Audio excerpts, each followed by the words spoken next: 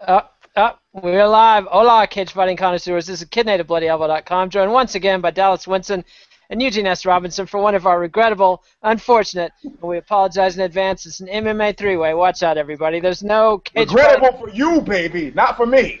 Uh-huh, uh-huh. There's a, no cage fighting this weekend, so we're going back down memory lane. We today are going to talk about the fighters Memory lane. that Memory first lane. made us love the game, memory lane, the uh, reason we love life, but maybe not fighting. All right, who wants to go first? Who's picking their fighter? Eugene's already revealed off stage his embarrassing secret as to who his shameful and embarrassing first MMA inspiration was. Dallas has been cagey. Cagey? Cagey, as in not letting us know. You said no one would want to dibs your guy, but that was it. Yeah, that's a pretty safe bet, I think. It's probably better that I start knowing who both of you guys are choosing, Yeah, go ahead. Because you guys really went, you know. I went predictable, and I, Yeah, I I, was I'm sad. I, I was embarrassed about my pick, but I had to be honest. I had to. I, w- I like was said. shocked, but but uh, if you think Well, that's my, my, predictable, my, my, my, my reasons are convoluted and, and, and complicated. So I would expect nothing less. So Dallas, you tell us. You're the mystery man. Well, I'd say both you guys, I mean, predictable maybe, but I, I mean, extremely, extremely viable. Mine will definitely not be a popular one because it's a personal one, and it's um, Jerry Bohlander from UFC 8. Oh, Jerry Bohlander. Jerry was it because you had been picked on by giant overweight pit bulls yourself? hey man, Yeah. you know, you know, actually, I'm I'm at Team Sorrel right now, and uh, he Bohlander is one of Sorrel's heroes. Actually, strange, strange you should mention him. You know. He's one Wow. of mine as well.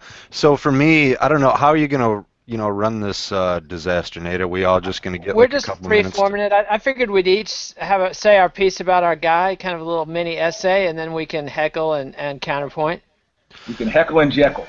Well, Indeed. the the only reason I ask is because Jerry Bohlander's my pick for sure, but UFC 8 just had a huge, huge impact on me. I Is that thought it the was first one you saw, or had you already seen a couple? no. I actually started with UFC 1. I saw the pay per view, and then I was just I think testing because I knew you'd made that claim before. okay, thanks. Glad. Good looking out. Glad you have my back. That's what bosses are for. Uh huh. Um, I had kind of the UFC 8 is what really made me like a hardcore fan, like passionate. That was the first time that, um, it, in because it was much more relatable.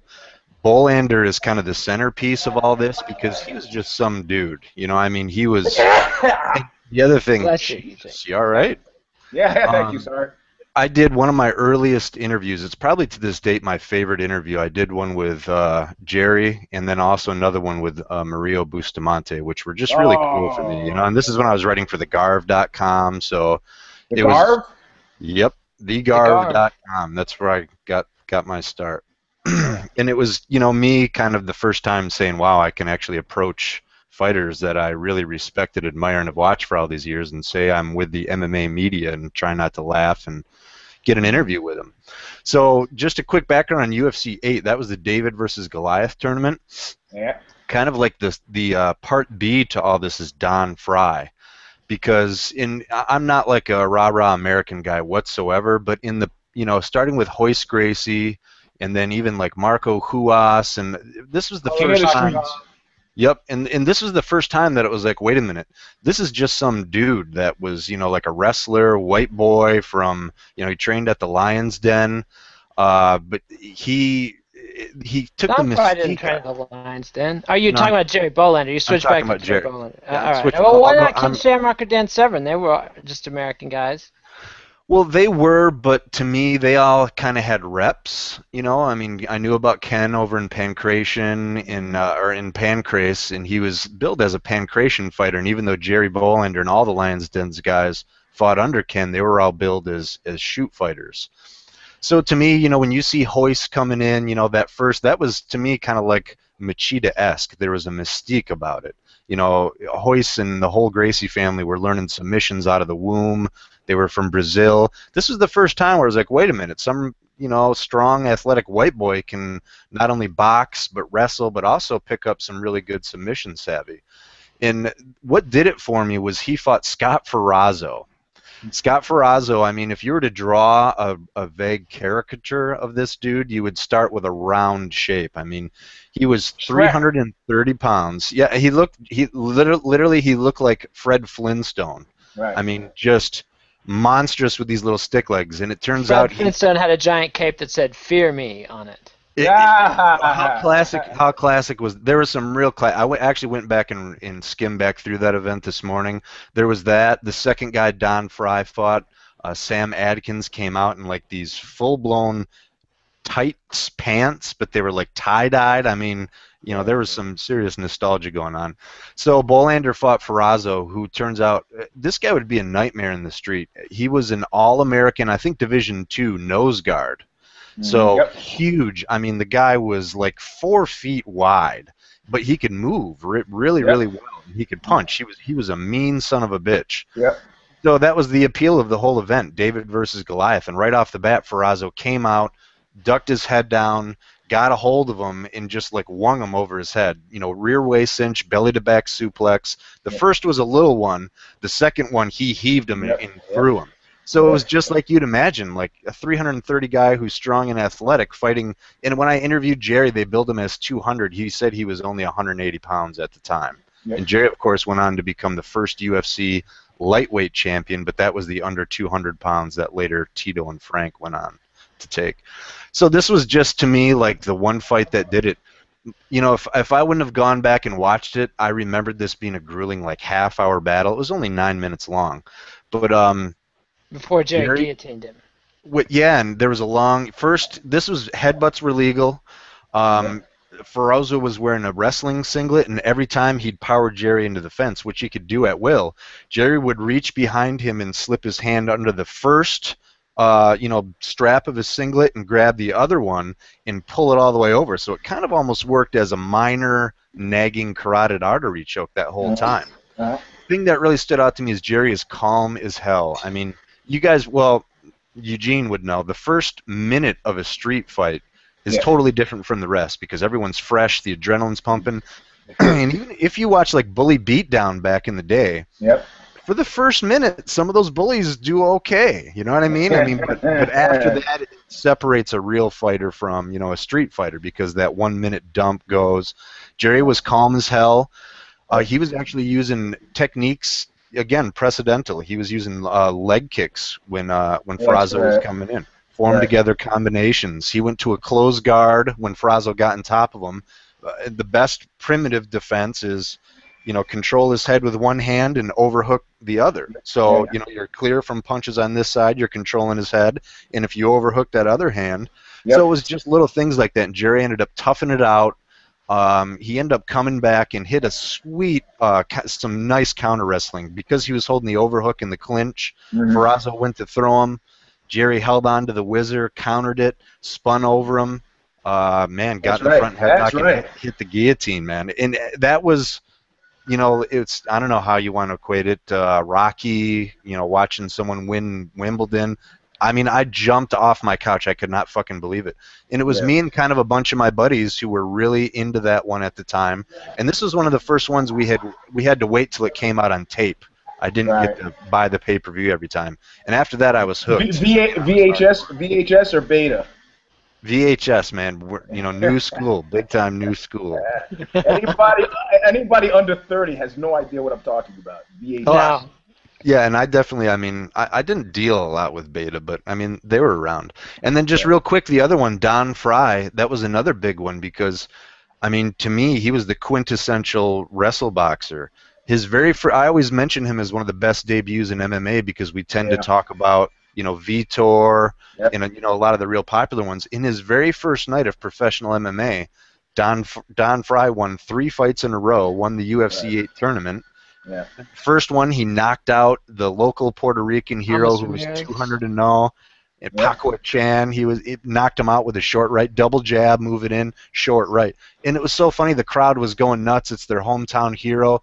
Eight seconds into the fight, Don Frye, boom, boom, boom. The guy falls down, and the crowd, you could, I mean, you could. It was palpable. They were yeah. all like, "Wait a minute, what? That's it." So that was to me a huge turning point for me personally, and I think for MMA as well because that was when you know Blatnick had mentioned hybrid fighting and cross training, but it solidified and crystallized right there in that event. And to me, that mm. was all Don Frye and Jerry Bohlander. Mm. Well, an, an epic tale. That's my I, story, guys. It I'm still bitter about that one because I missed the live pay per view because my in-laws at the time, my ex-wife's family was in town, and and and uh, I went over to my friend's house where they had had a UFC party, and everybody was still high on the crazy event, and, and I, I got to watch it on tape delay, but it wasn't the same. It wasn't the same. All right, Eugene, who was your who was your magic I can't, I can't I can't believe you went for that okey doke. You know, and one of the benefits of being an adult, I think, is that you you insofar as possible, you do as much of what you want all the time. I want to, especially want, a single adult, my friend. I want to, if I want to eat crisp with whiskey on it for breakfast, I'm doing it. you should have said, "Hey, baby, I love you, but I'm watching the fights." Your well, you know, coulda, shoulda, woulda, but I, I, shouldn't have got married to her in the first place. Is is what I should have done. But anyway, yeah, you're right about that. That's well, you know, any port in a, any any port in a storm, man. Indeed, indeed, quite a storm it was. All right. That, like the, the most unkind thing anybody could ever say. Whatever, he was there. uh, all right. Well, he did mention he did mention one of my picks, and, and, somehow I felt extremely embarrassed to have made this pick. So I, I say embarrassed because one thing I notice about Facebook, and what I think is really people cap on Facebook, but I think if you're old enough, you know that what Facebook has done has been pretty revolutionary. Has been that it's it's destroyed nostalgia. You know, and I talk about this on Knuckle Up. You know, you'd be sitting around in the old days, pre-Facebook, going, ah, I wonder what Sally is doing now. And then now because you can see Sally's turned yeah, into a bear, Mama. Yeah, oh yeah. She now Sally now that's a that's a broad I wouldn't want to fight. She's she outweighs me. Probably could out outfight me. You don't want to know Sally. So I I mean I say I say I say this by prelude to say when you see what he's become, it's sort of sad, you know. I mean I my, my favorite line was going to a fight and going to press row and and uh, and me looking down and seeing people harassing him for autographs and I go, oh, look, it's the most dangerous man in the world. And my buddy goes, hey, I don't think he's the most dangerous guy in this row. And he was, of course, speaking about Ken Shamrock, and uh, and you know, it, it, feels like a cheesy pick now, but I, I have to say that you know, I, I didn't. I knew about the sixty thousand or sixty-five thousand dollar Gracie challenge when it was happening, and there was a mystique, you know, uh, connected to the family. But when I saw this kind of tiny guy come out in ill-fitting pajamas, which seemed to me to be off-white and therefore dirty, I was like, uh, first of all, he's going to get killed, you know, against Art Jimmerson, no less. He's going to get killed. And, and, and, and secondly, when he did put on a submission, I couldn't see what it was because it was cloaked by the gi. So that's what the, that, was, that was probably the first my first tentative step in the conspiracy where I started to claim, ah, this, this, is, this is a fix. I didn't even see what he, uh, the guy just, how much did they have to pay the guy to tap, you know, how much? All right, let's see. So, I mean, so it wasn't, it, you know, Ken was, was a familiar, you know, I, I come from the sport, and I say sport of bodybuilding you know, I come from the sport of bodybuilding. You know, taking one look at Shamrock and said he's got a nice stack going. That's right. Yeah, yeah, yeah, exactly right. I was like, you know, they actually had I, yeah, I, had already, I'd already turned the steroid fence at that point. So uh, he, he, uh, you know, it was a familiar territory for me, and he came in, um, and there was, of course, the attitudinal, you know, aggressive thing that I thought should be part and parcel of, or it was very much part and parcel of, of how I was fighting at that point, which is like, you know, massive offensive, you know, moves, and uh, and you could see what he was doing. You know, you could actually see it was it was wrestling without the coach in the room. You know, uh, and uh, and, and I just like the whole. I like the whole shtick, you know, the American badass, the, the initial American badass thing. I mean, you, you want to know how much I liked it?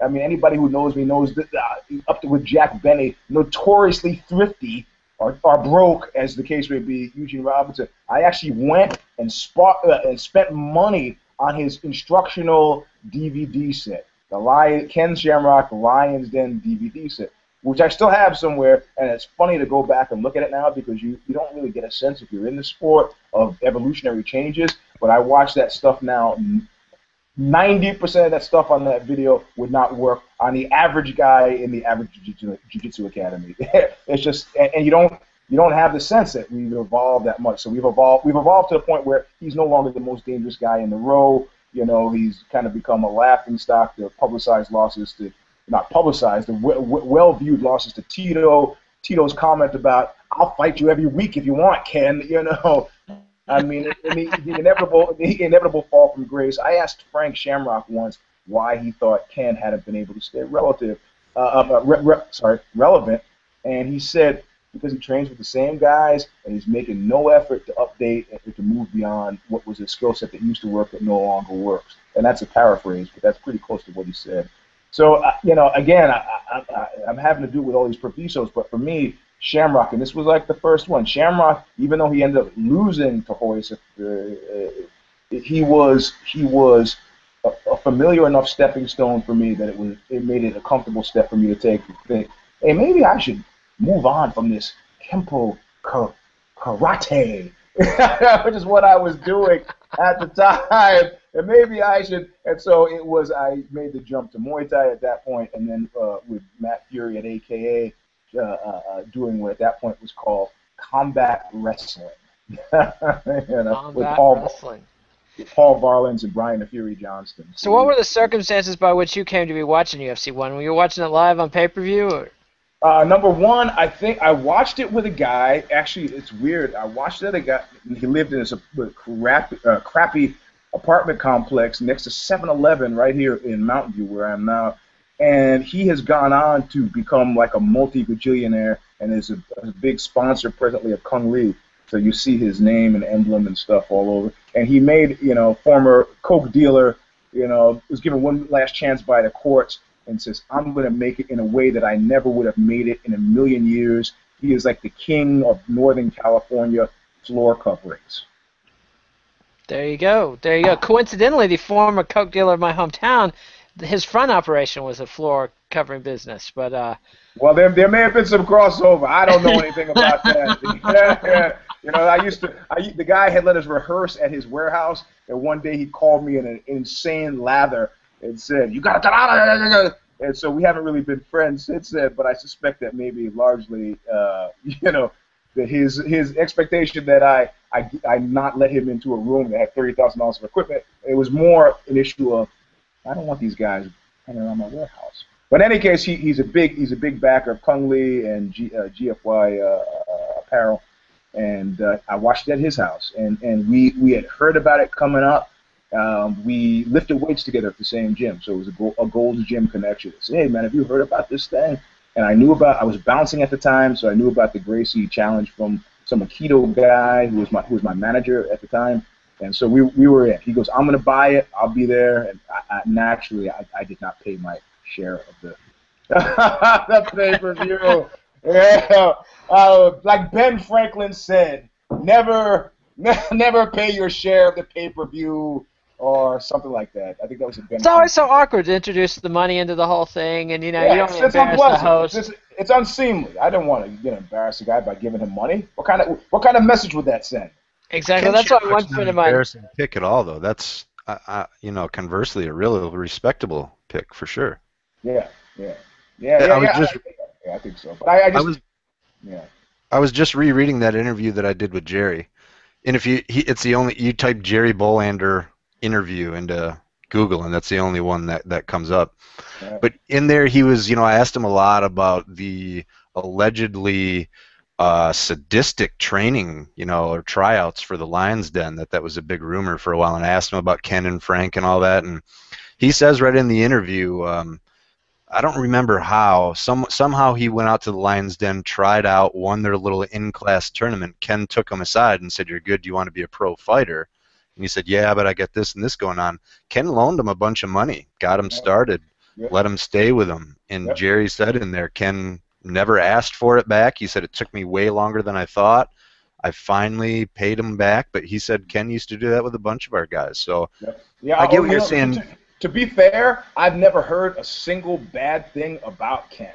you know, seriously. You know, and and you know, as an MMA journalist, people talk to you. You hear about oh, such and such did this, and such and such. Never, not a single peep about about Ken. You know. Nor have I. And it, I understand what you're saying because nowadays he's kind of looked at, but he, no one would be looking at him at all if it weren't for the foundation. And the foundation he laid was important, you know, it's extremely relevant, if not, in, you know, Yep. highly influential to MMA. Yep, And he helped a bunch of people out. Can Yep. you guys think who was the first main uh, coaching team or camp squad in the United States? Was it not the Lions Den? It was absolutely the Lions Yep. Den. Yep. Yeah. Absolutely the Lions Den. It's so funny though to, to hear these stories now from Frank Shamrock and Bohlander and and even Ken describing it himself. It's it just sounds barbaric. You know, there was very little. It was very much straight out of the Japanese school of you know, go in there, work out till you puke, uh, and then you know your first sparring match would be Ken beating the crap out of you. Uh, very little instruction or telling you what happened. You were just supposed to figure it out, uh, trial by fire, and Well, you know. well, I, I think I think the best I, they lear, earned my respect. I was like I said, I was at AKA. I was training with that prick Matt Furey, and he came back in the area and had a seminar.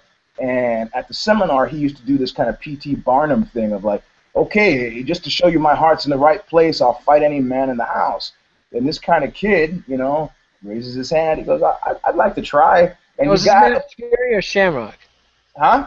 Is this Shamrock or Matt Furey? Who was This is doing Matt. This is Matt Furey. This, see, that's Yeah. why I said the prick Matt Furey. I know, So- but then you said, yeah, yeah, okay, all right. No, no, no, making no, no, no. So this kid raises his hand. Goes, I, I'd like to try Mr. Furey, and he says, "Sir, you come on up." And and he and Furey go at it for about 35 minutes, and Furey can't put this kid away, and you can see it's like an embarrassment. And he's like, actually, like after the first five minutes, he's really trying just to, everything, all the dirty moves. it just straight grappling, or are they fisticuffing? as straight, no, no, straight, grab, straight grappling match, and uh, and then finally after about 30 minutes, Furey goes, ah, this kid is obviously great. Thanks everybody for coming, and you know, get the fu-" and so naturally, naturally, I'm like, boom, I go over to the kid, I go, hey man, who are you? Uh, What you? He goes, ah, my name is Joe Hurley.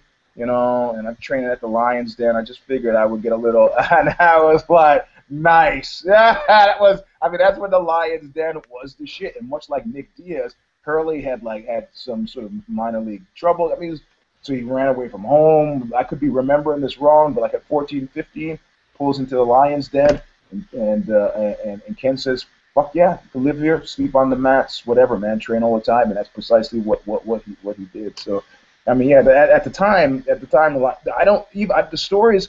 Hard work is different from sadistic. There there is a camp that is a sadistic camp, but that's all that whole Gokor, Judo Gene LeBell, Karl Gotch. You know, Karl Gotch was a, he would make you do 2,000 squats before he would teach you anything. If he didn't like it, you would leave. And then if he thought that you were, you know, complaining, you need to take a break, he goes, "Oh, sure, take a break," and he would throw rice on the floor. you know, so that if you had to kneel down because you were so dead from these squats, you were kneeling in rice, which was pretty uncomfortable. And he'd go, "Look, look, Karl, I'm, I'm, I'm thirsty." And Karl would amble off to the bathroom, goes, "You thirsty, boy?" And he would come back with a with one of those old style uh, athletic uh, cups, you know, with, with water with water in it. Hey, boy, you, you thirsty, boy? You want to drink? Now that's this guy's a sadistic motherfucker, man. Yeah. and I- the only reason I can say that now is because he's dead. Yeah. because otherwise, I would be way, I'd be way too, I'd be way too afraid to, to, to, to say any such like thing. So Yeah, Joe Hurley shit. was a badass too, man. Karl, yeah, who, who, yeah, Karl Gotch was a badass. Yeah. And No, Hurley Joe, too. Joe Hurley. Oh, Hurley was a, Hurley was a badass. Yeah, he had real he had- underrated guy. I can't remember who, but he got a he got I think one maybe two big wins, surprising Yeah. wins. You thought who the hell was you know who the hell was this kid? And Yep. Fought a bunch of tough guys. I mean, tough tough bastard for sure. I think he had some, ended, ended up having some character problems or some such thing. I don't remember, but it was yeah. I, yeah. All right. Yeah. So, Yeah, well, but you that, know, that's my pick. That's my pick, and I'm sticking to it. That, that's a good. And one last thing about Shamrock, he did come out of the lineage of Karl Gotch, though. That you know, Gotch trained the Japanese guys who trained Yep. Shamrock, and so I think that that ethic of just push them and push them and push them, and Yeah, the ones who don't that. break are the winners was was where uh, Ken was coming from, and you know, But you, and, but you, but you, you know, when I started training jujitsu, coming from co- what they call combat wrestling, they had to pull me aside all the time and say, "Hey, hey, what are you doing?" You know. I go, I'm just trained. He goes, no, man, we don't, we don't do that here. The chin in the eye socket, you know, the elbow in the throat, the, the rape, the rape chokes. Like you know, yeah. And even now, even now, Sarao is like always telling me, "Don't." do-" That's him in the background, shirtless. He goes, "Don't do that, Eugene." And it's like, man, it takes a long time to unlearn that dirty shit, you know. Because that was just part part and parcel of life, you know, with these old catch wrestler guys. So But combat yeah, grappling, that was way ahead of its time. Remember, way back in the day, Ted Williams combat grappling was real big. Ted Williams is great.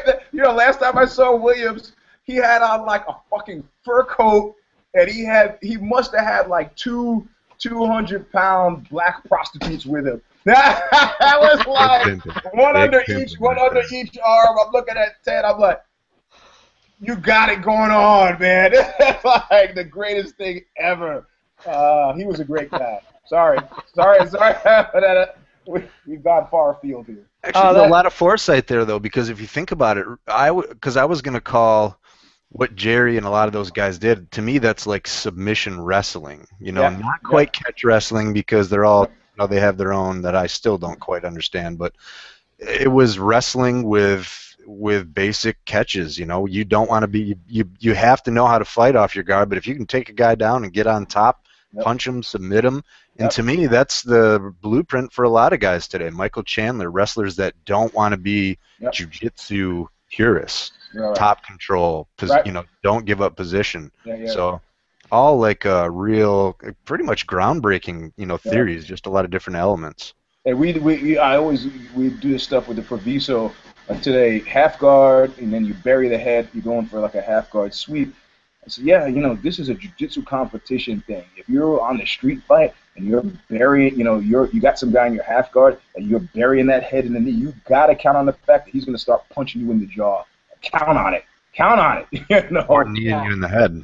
Yeah, Well, yeah, or, or put the knee on the jaw and start punching you in the face. So yeah, you can better better believe it. So, but I mean, this is why we have MMA. Yeah, I, I love ju- I love jujitsu, but MMA kind of keeps you honest sometimes. Just just even thinking about it. So, Well, well, I know everybody's anxious. Like they've been like, we've heard these guys and their and their dumb picks. Who's Kid Nate? Who's Kid Nate's choice? That's what people want to Deus, know. De- Deus Ex Machina. Kid Nate is gonna fly through the clouds, and he's gonna go. My pick is oh, and everybody's gonna be Royce Gracie, amazed. that's my pick. Royce Gracie, man. Like I, Royce I, I'd Gracie. been, I'd been in something where I, I'm gonna be a writer, and so I was, I was, I wasn't leaving my apartment. I was writing, you know, 900 words a day and never leaving the house.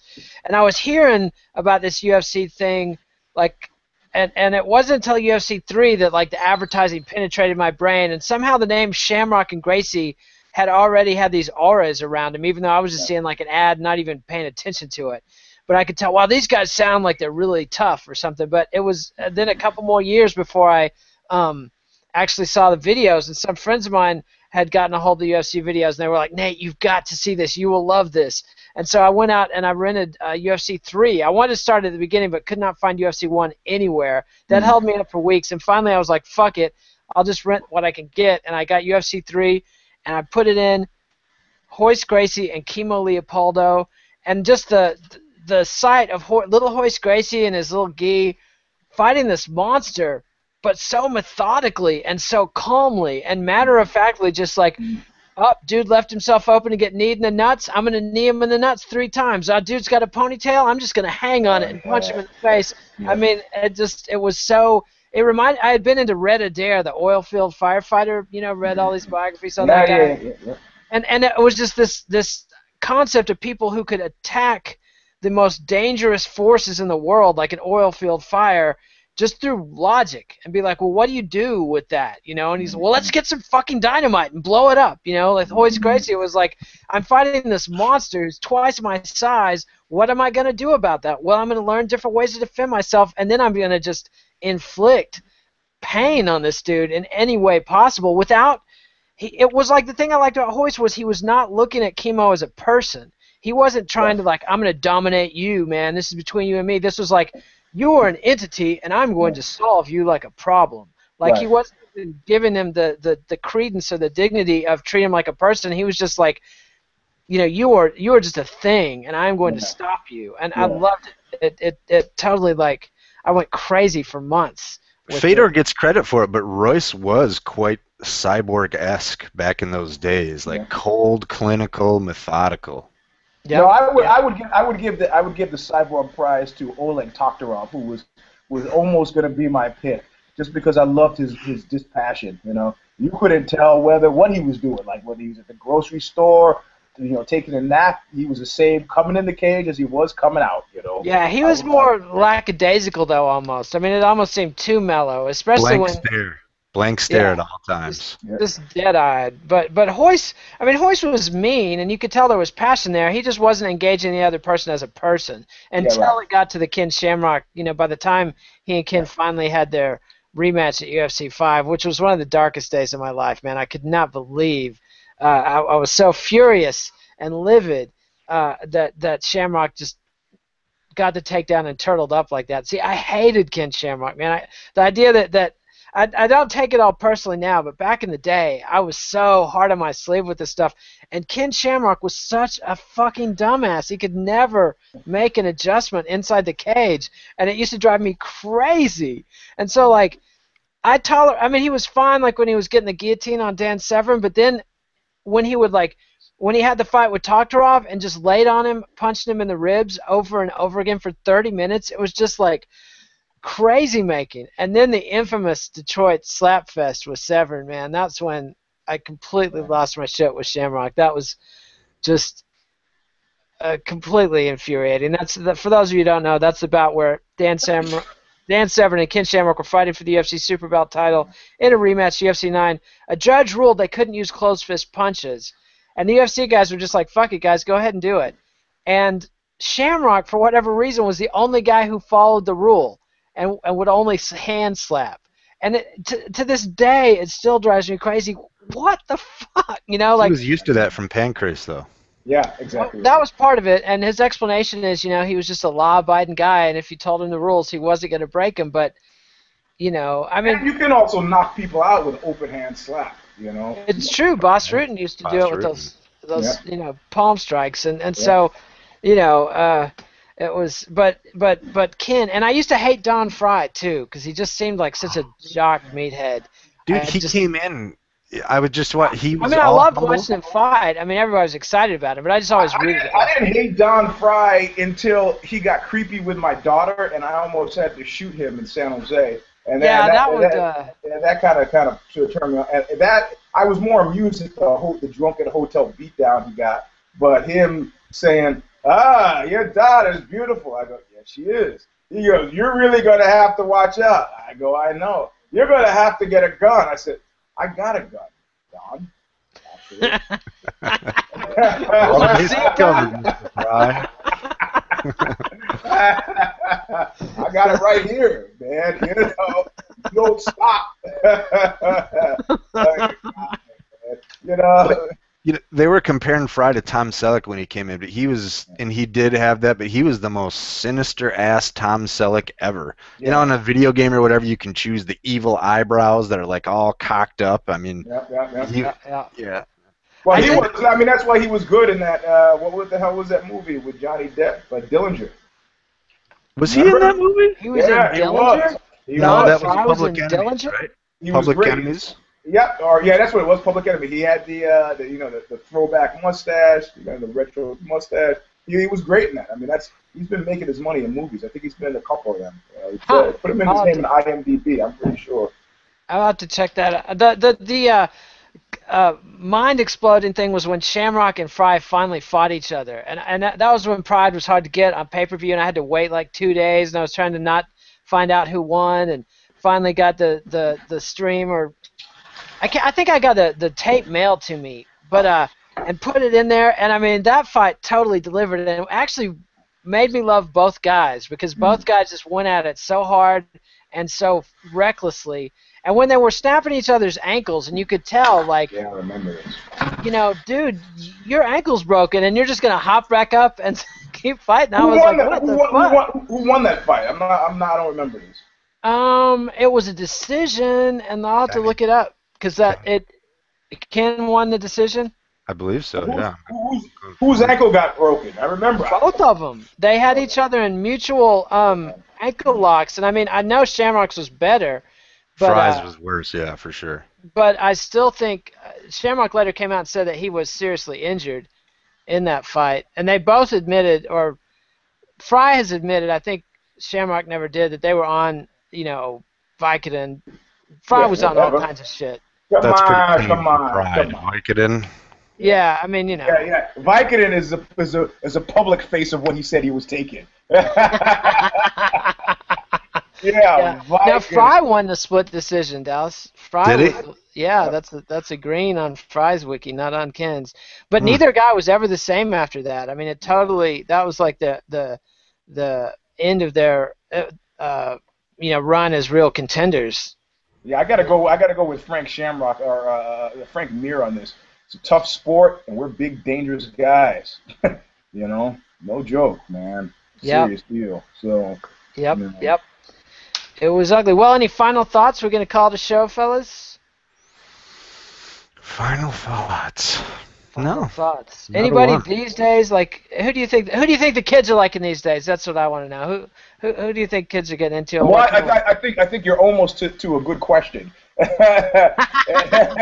it out of me. Bring it out of me. Well, I, I think the good the good question is, you know, given that we've we've identified our, our inspirational heroes, you know, it, it, it, are there through lines from those heroes to anybody today who's bringing the same sort of gravitas, who's converting people like we were converted by these guys were back then, right now? I think that's what you were trying to say, right? Uh, that's that's fair enough. And maybe Ronda Rousey's doing that for some of these gals. Um, My instinct is it's impossible because this Yeah, is the yeah. inception of the sport. There's no parallels. There's no comparisons. Well, yeah, and, and, and the reason for that is, and it's something in, in, in what Kid Nate just said, the reason for that is somebody, once we were talking about the AIDS virus, and a buddy of mine who was an epidemiologist said some, something like, you understand, it's a virus. I go, yeah, okay. He goes, no, it's a virus. You know, you know, ge- geneticists used to make the joke that people were genes' way of reproducing themselves. You know, just think of a, a virus as, I mean, it is an unsuccessful virus if it kills its host. Its primary objective is to pass itself on to another host. You know, if it kills its host, it also dies. So it doesn't. I mean, he, I go, yeah. He goes, ultimately, HIV, AIDS will get to the point where it is a it is a virus that you can actually live with. You know, like the flu virus. And I go, ah, you're crazy. I mean, this was back in the 90s. He was saying this. He goes, You're crazy.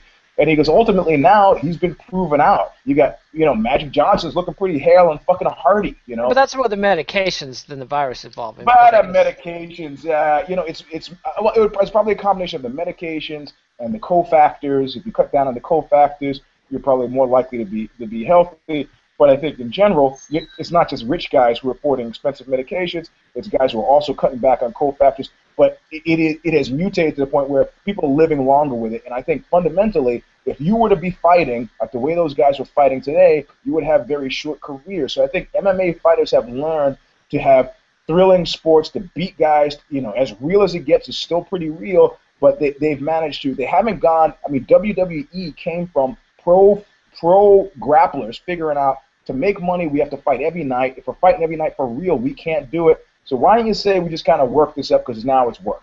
You know, we got to fight every day. So I think UFC fighters, MMA fighters presently have gotten to the point where they can fight all out. And I mean, what Matt Brown got a 30-day suspension? That's nothing. That's a vacation. You know, um, for a guy who's got some facial contusions. So all in all, the sport has migrated to the part to the point where toughness is, is certainly part of the picture, but it's not as much of the picture as it was back when you could do anything and the headbutts and the eye gouges and the nut punches and so forth.